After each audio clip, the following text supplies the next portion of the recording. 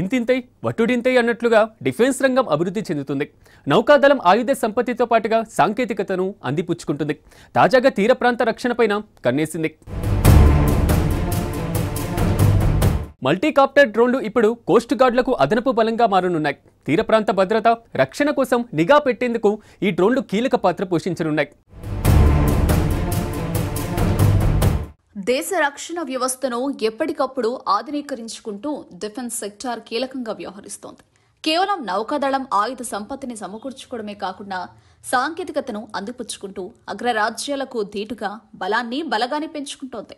వైరి దేశాల కవ్వింపు చర్యలకు సరైన సమాధానం ఇచ్చేందుకు నిరంతరం నూతన రక్షణ వ్యవస్థలతో సామర్థ్యాన్ని పెంపొందించుకునేందుకు భారత్ ప్రయత్నిస్తోంది. ఇందులో భాగంగా సాగర జలాల్లో నిరంతరం పహారా కాసే ఇండియన్ కోస్ట్ గార్డ్స్ తొలిసారిగా మానవరహిత మల్టీ కాప్టర్స్ను అందుబాటులోకి తెచ్చారు. ఇండియన్ కోస్ట్ గార్డ్ హెలికాప్టర్లకు బదులుగా సరికొత్త సాంకేతికతతో మల్టీకాప్టర్లను తన అమ్ముల పొదిలో చేర్చుకుంది. నిరంతరం పహారా కాసే సామర్థ్యం ఉన్న ఈ మల్టీకాప్టర్ డ్రోన్లు కోస్ట్ గార్డ్ రక్షణ వ్యవస్థకు కీలకంగా మారనున్నాయి. వర్టికల్గా తో పాటు ల్యాండింగ్ కూడా అయ్యేలా ఇవి పనిచేస్తాయి. కోస్ట్ గార్డ్ నౌకల్లోనూ ఆఫ్ షోర్ స్టేషన్ల నుంచి వీటిని ప్రయోగించవచ్చు. ప్రస్తుతం తొలి విడతగా పది మల్టీకాప్టర్లను కొనుగోలు చేసుకుంది. వీటిని విశాఖ కోలకతా ప్రాంతాల్లోని ఐసీజీ ప్రధాన స్థావరాలకు కేటాయించాలని నిర్ణయించింది. తీర ప్రాంత భద్రత నిఘా వ్యవస్థలను మరింత పటిష్టం చేసేలా సరిహద్దు ప్రాంతాల్లో ఈ మల్టీకాప్టర్ డ్రోన్లు రాత్రి పగలు పహారా కాస్తాయి. నిఘాకు మాత్రమే కాకుండా ఏవైనా విపత్తులు సంభవించినప్పుడు rescue ఆపరేషన్లోనూ anti piracy anti smuggling oil spill కాలుష్య నియంత్రణ ఆపరేషన్లోనూ వీటిని వినియోగించనున్నారు. ఏడాది నుంచి ఇండియన్ కోస్ట్ గార్డ్ తీర ప్రాంత భద్రతపై మరింత పట్టు సాధించింది. యాంటీ టెర్రరిజం స్క్వాడ్తో కలిసి నిర్వహించిన ఏడు జాయింట్ ఆపరేషన్లో పంతొమ్మిది వందల కోట్ల విలువైన మూడు వందల యాభై కిలోల హెరాయిన్ దేశంలోకి రాకుండా అడ్డుకుని స్వాధీనం చేసుకుంది. ఈ ఆపరేషన్లో పాక్ ఇరాన్ దేశాలకు చెందిన చొరబాటుదారుల్ని కూడా అదుపులోకి తీసుకుంది. ఇకపై భద్రతా వ్యవస్థను మరింత స్మార్ట్గా పటిష్టం చేసేందుకు మల్టీకాప్టర్లను వినియోగించాలని కోస్టుగార్డ్ నిర్ణయించుకుంది. ఇందుకోసం రెండు వేల ఇరవై ఐదు నాటికి మరో వంద మల్టీకాప్టర్ డ్రోన్లను కొనుగోలు చేసే దిశగా అడుగులు వేస్తోంది. దీనిలో భాగంగా భారత ఆర్మీ కోసం వెయ్యి నిఘా కాప్టర్లు కొనుగోలు కోసం కేంద్ర రక్షణ మంత్రిత్వ శాఖ ప్రపోజల్ రిక్వెస్టులు జారీ చేసింది. వీటిని అత్యవసర కొనుగోలు కోసం ఫాస్ట్ ట్రాక్లో ప్రొసీజర్ చేపట్టనుంది. ఈ కాప్టర్లు యాక్సెసరీలతో పాటుగా కొనుగోలు చేయనున్నట్టు ప్రభుత్వం తెలిపింది.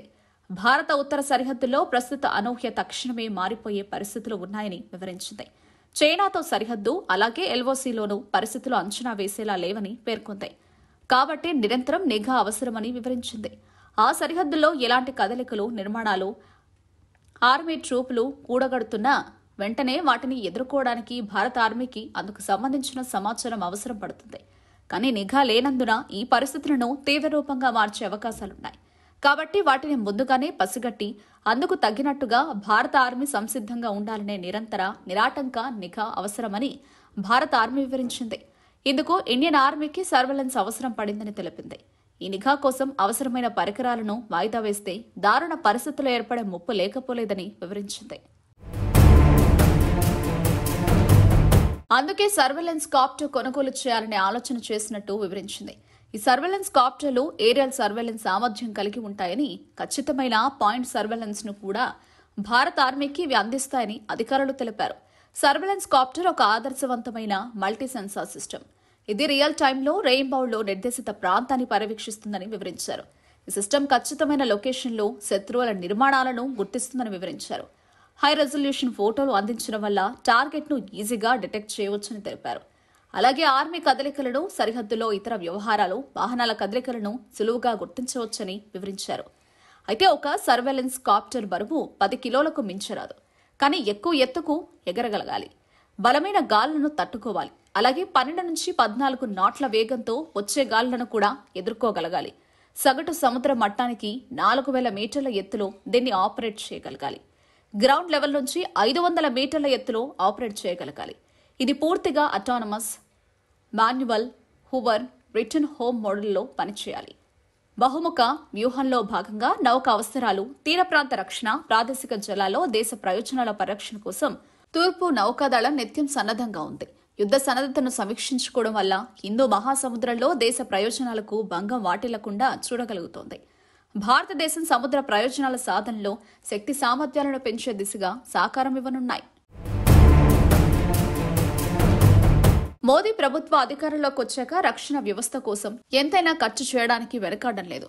ఇప్పటికే ఎన్నో వి- యుద్ధ విమానాలను అధునాతన ఆయుధ సంపత్తిని భారత సైన్యం చేతిలో పెట్టింది ప్రభుత్వం.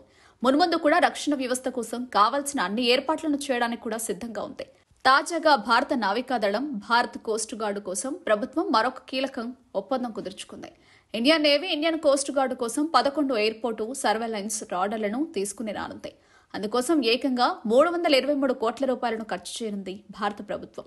మినిస్ట్రీ ఆఫ్ డిఫెన్స్ అందుకు సంబంధించిన కీలక ప్రకటనను చేసింది. ముంబైకు చెందిన మహీంద్రా టెలిఫోనిక్స్ ఇంటిగ్రేటెడ్ సిస్టమ్స్ లిమిటెడ్కు ఈ బాధ్యతలను అప్పగించింది.